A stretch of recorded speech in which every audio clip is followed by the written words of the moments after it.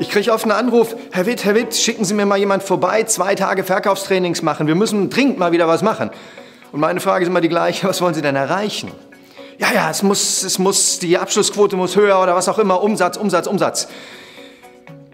Wir sind keine Verkaufstrainer. Es ist ein Mythos, dass Verkaufstrainings etwas bringen. Ich habe sogar einen Artikel geschrieben. Tausendmal trainiert, tausendmal ist nichts passiert. Sieben Gründe, warum Verkaufstrainings noch nie Erfolg hatten und drei Sachen, die Sie stattdessen machen sollten. Die sieben Gründe möchte ich Ihnen hier mal erzählen.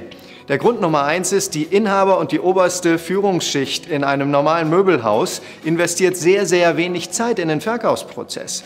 Wenn Sie ein Möbelhaus führen oder ein Möbelhaus managen, überlegen Sie mal, wie viel Zeit haben Sie letzte Woche an der Werbung, an der Verwaltung, an der Logistik, an solchen Sachen gearbeitet? Wareneinkauf, Ausstellung. Und dann überlegen Sie mal, wie viele Stunden Sie aktiv an der Verbesserung des Verkaufsprozesses gearbeitet haben. Und damit meine ich nicht durch die Ausstellung gehen und Verkäufern Hallo sagen oder Verkäufer zum Kunden scheuchen. Also, der Grund Nummer eins ist, Inhaber haben nicht genug Fokus auf den Verkaufsprozess und auf die Verkäufer. Und das ändern wir. Und zwar in einer Art, dass sie sich positiv auf die Verkäufer fokussieren und versuchen, die Verkäufer aktiv bei etwas Gutem zu erwischen, um davon mehr zu kriegen. Der zweite Grund, warum Verkaufstrainings nichts bringen, ist, der Verkaufsprozess wird nicht gemessen.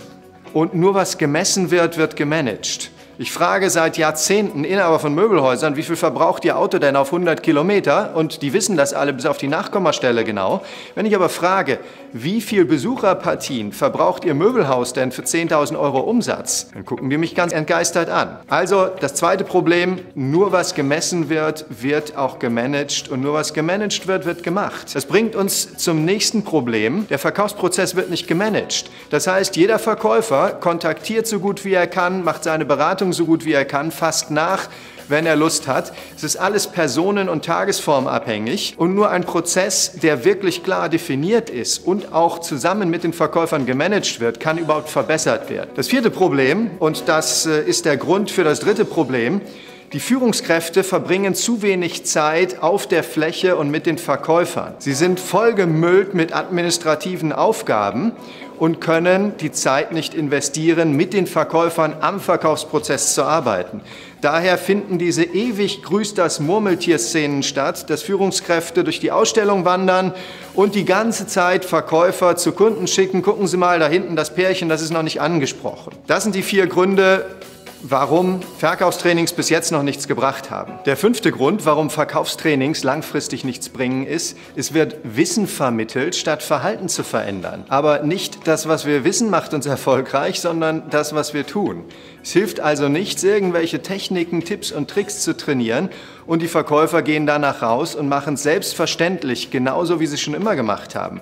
Ein normaler Verkäufer hat in seinem Arbeitsleben über 60.000 Mal kann ich Ihnen helfen gesagt. Wie kann man als Verkaufstrainer erwarten, dass er es nach einem Training am nächsten Morgen anders macht? Der sechste Grund, warum Verkaufstrainings nichts bringen, ist, es werden Floskeln und Worthülsen gepaukt und es wird gesagt, sag folgenden Satz und alles wird gut, die Kunden unterschreiben. Wir wissen aber aus der Forschung, dass 93 Prozent der Kommunikation über die Körpersprache und die Stimme stattfinden und nur 7% ist der Inhalt, das was wir sagen.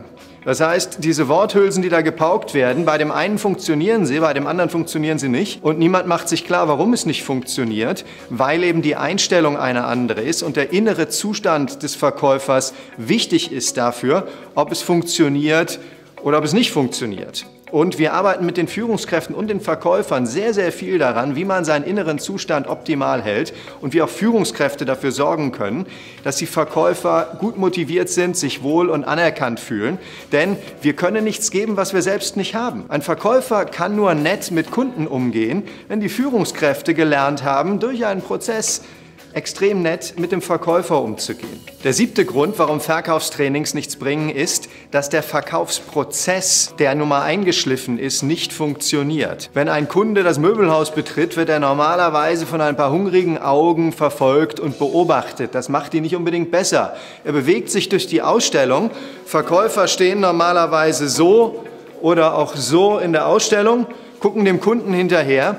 Irgendwann, wenn der Kunde an der Ware steht, laufen sie los, kommen dann natürlich in der Regel von hinten oder von der Seite und sprechen den Kunden an mit dem Gruseligen, kann ich Ihnen helfen? Worauf der Kunde antwortet, nein, vielen Dank, ich will nur mal schauen. Das ist der, erste Problem im Verkaufsprozess und das führt dazu, dass über 50 Prozent aller Möbelhausbesucher niemandem sagen, warum sie eigentlich gekommen sind. Das nächste große Problem ist, sobald der Kunde doch mal sagt, warum er gekommen ist, wird sofort Ware gezeigt und zwar nach dem Zufallsprinzip, dieses Sofa, das Sofa. Es wird also praktisch Beratung bei Walking Around gemacht. Das sorgt dafür, dass die Kunden irgendwann überfordert sind und behaupten, am helllichten Tage schlafen gehen zu wollen. Sie gehen dann natürlich nicht schlafen, sondern meistens in ein anderes Möbelhaus oder sie schieben die Entscheidung auf die lange Bank. Und dann haben wir ein Riesenproblem. Der Verkäufer, der natürlich provisionsabhängig ist, denkt von Anfang an an den Abschluss. Das heißt, seine Körpersprache, seine Stimme sagen, ich will dein Geld, Kunde, und ich brauche dein Geld, ich bin darauf angewiesen. Das stößt den Kunden ab, denn der Kunde kann diese Körpersprache lesen und fühlen. Deswegen brauchen wir im Möbelverkauf einen Treppenprozess mit Etappenzielen. Denn wenn wir immer nur an das nächste kleine Ziel denken, ich will den Kunden zum Lächeln bringen, danach will ich dafür sorgen, dass der Kunde sich wohlfühlt, danach will ich den Kunden so weit öffnen, dass er sich mit mir als Mensch über Gott und die Welt und unverfängliche Themen unterhält. Und wenn wir den Prozess so aufdröseln, dann merkt der Kunde immer nur, was wir mit ihm als nächstes vorhaben. Und das ist etwas Positives. Und das sorgt dafür, dass wir mit über 70 Prozent aller Besucher ein Verkaufsgespräch führen können. Und dass die Abschöpfung um 10 bis 30 Prozent hochgeht. Wir können in einer Verkaufspotenzialanalyse Ihnen erklären, wie schnell und wie erfolgreich so ein Projekt möglich ist. Also greifen Sie jetzt zum Hörer oder schicken Sie mir eine E-Mail.